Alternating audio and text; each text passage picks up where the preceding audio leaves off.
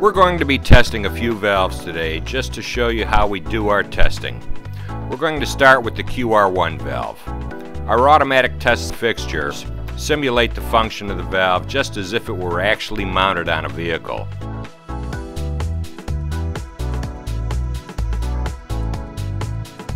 After the valve is clamped down, if you check the gauges at the top of the fixture, the operator will input 130 psi supply pressure into the valve. 130 psi will also show on the delivery gauge. He checks for any leaks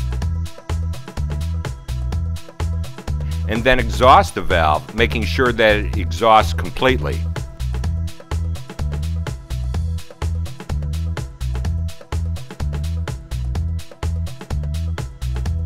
Here we're testing the Neway delayed response leveling valve.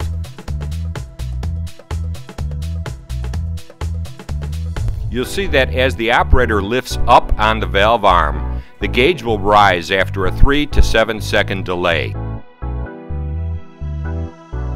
And the valve will exhaust and the valve gauge will fall after a 3 to 7 second delay when the valve arm is lowered.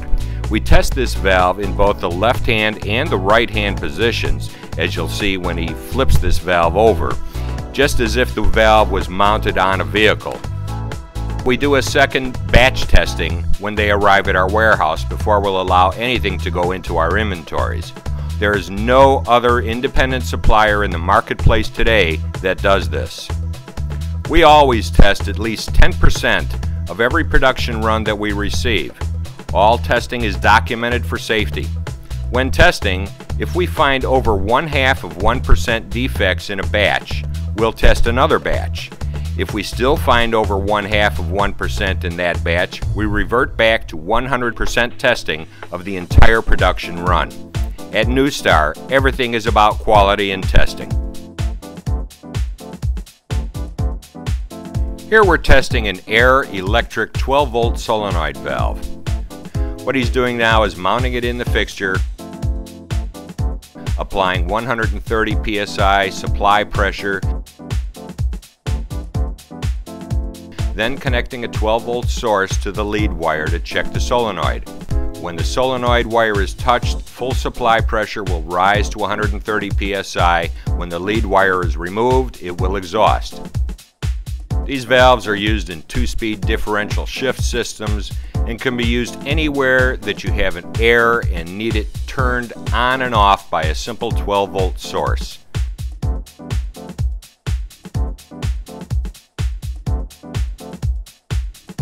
Seems he's having a problem with this one.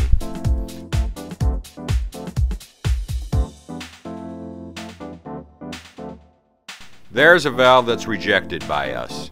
It somehow got passed by the manufacturer, but we caught it here. This valve would have gotten by some other suppliers, but it will never get to our inventory and it'll never get to you. Here we're going to show you our cycle testing. We do life cycle testing on all valves. Here we're testing a D2 governor. We'll run this D2 governor according to SAE specifications, a minimum of 200,000 cycles. Each cycle consists of input pressure of 130 psi so that the governor will cut in at 115 psi and cut out at 125 psi. This cycle takes place in 4 seconds and runs 200,000 times or more, and then we test the governor to make sure that it tests completely again. We then tear it down and check for wear. Here we're testing E6 type foot valves. This is a dual circuit valve and our automated fixture will test both circuits. This is what activates the foot valve, nothing more than a cylinder at the bottom. If we didn't have the automated fixtures to use, this would take us an enormous amount of time having to screw individual fittings and put hoses onto every port. We input 130 psi pressure to the supply ports and make sure there are no leaks through the exhaust at any pressure. Any leakage will show through a small hole above the valve, which the technician can check with his finger. When the full pressure of 130 psi is reduced to say 60 psi, the tank must first exhaust the first top 70 psi and then hold 60 pounds pressure in the valve with no leaks. Both circuits must work equally.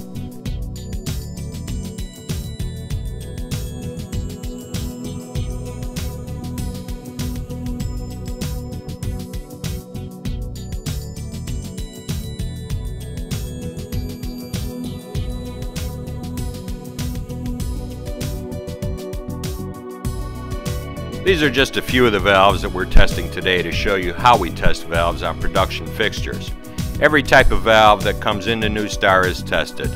It doesn't matter if it's a Bendix style, Midland style, Sealco style, Neway style, Chelsea style, Fuller, Meritor, Delco, you get the point. From automatic slack adjusters to air compressors, everything goes through the batch testing program.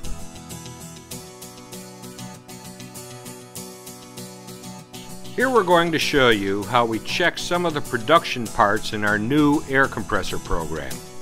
You're looking at the crankcase block assembly for our S13394 Detroit NS750 unit.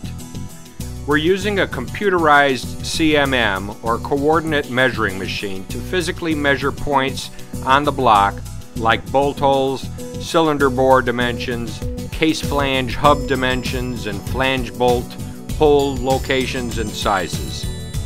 All these measurements are fed into the computer and a print is then made. This print is then compared to our original prints for any variations. If everything is within tolerance, the shipment of finished castings is accepted. We run a batch test of at least 10% to 25% on all production runs of finished castings to be sure of uniform quality. The engineer will check for the flange dimensions, hub and bearing diameters, flange bolt hole dimensions, etc. All these dimensions are fed into the computer for comparisons to the OE dimensions. Without the benefit of this high-tech test equipment and fixtures and our skilled engineers and technicians, we wouldn't be able to produce the quality parts that we do.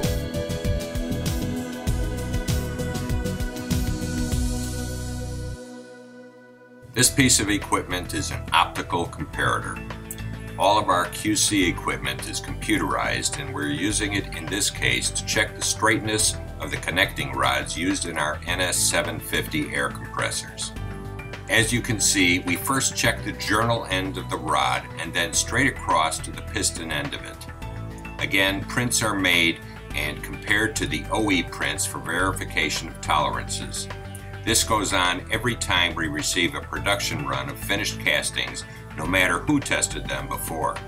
We have to approve all parts here before releasing anything into production or inventory. That's S&S, that's Newstar.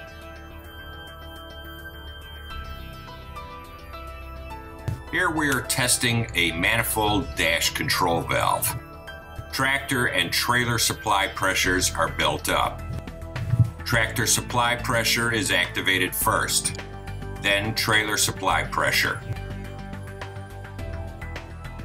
The valve is tested for air leaks. The pressure is released, always checking for leaks. The process is then repeated.